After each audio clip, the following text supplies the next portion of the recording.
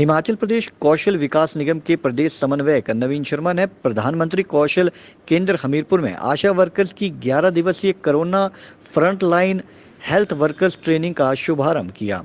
उन्होंने 40 आशा वर्कर्स को किट एवं प्रशस्ति पत्र देकर सम्मानित किया। नवीन शर्मा ने इस मौके पर कहा कि कोरोना काल में आशा वर्कर की भूमिका बेहद सराहनीय रही है। शर्मा ने कहा कि कोरोना की लड़ाई में आशा वर्कर्स आशा की किरण बनकर उभरी हैं। वे अपने नियमित काम के अलावा गाँव में लोगों के बीच जाकर ज़िम्मेदारी से काम कर रही हैं। उन्होंने कहा कि कोरोना टीकाकरण अभियान में हिमाचल अव्वल रहा है। इसमें सबसे बड़ी भूमिका आशा वर्कर्स ने निभाई है।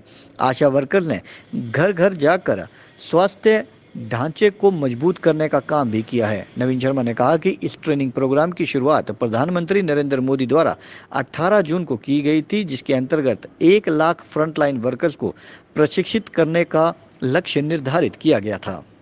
यहाँ प्रधानमंत्री कौशल विकास योजना के अंतर्गत जो है जो आशा वर्कर्स का एक फ्रंट लाइन हेल्थ वर्कर का ट्रेनिंग प्रोग्राम 11 दिन का चल रहा है, उसका आज शुभारंभ यहाँ पर किया गया और यहाँ पर जो है 40 आशा वर्कर्स जो हैं, वो पूरे हमीरपुर से जो है उसमें भाग ले रही हैं। हम सब जानते हैं कि मोदी जी ने जून अठारह में अठारह जून 2021 को जो है कोरोना फ्रंटलाइन हेल्थ वर्कर्स इस देश के अंदर जो है वो एक लाख हेल्थ वर्कर्स जो है वो तैयार करने की इस योजना का शुभारंभ किया। क्योंकि जिस तरह से कोरोना ने जो है वो पूरे विश्व को नहीं, हमारे देश को भी जिस तरह से जो है वो इन दो वेव में जिस तरह से झकझोर करके रख दिया और जिस तरह की कमी जो है वो स्टाफ की और सारी चीज़ें उठकर आई तो उसको लेकर जो है उस देश के आदरणीय प्रधानमंत्री श्री नरेंद्र भाई मोदी जी ने कोरोना फ्रंटलाइन हेल्थ वर्कर्स जो है वो एक करके जो है एक मुहिम शुरू की, जिसके अंतर्गत जो है वो एक लाख लोगों को जो है, वो उसमें जो है प्रशिक्षण देने की योजना बनी।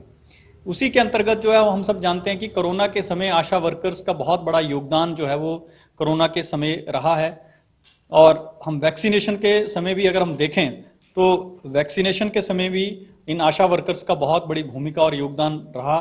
चाहे वो लोगों को समझाने का था, चाहे लोगों को टीकाकरण केंद्रों पर लाने का था।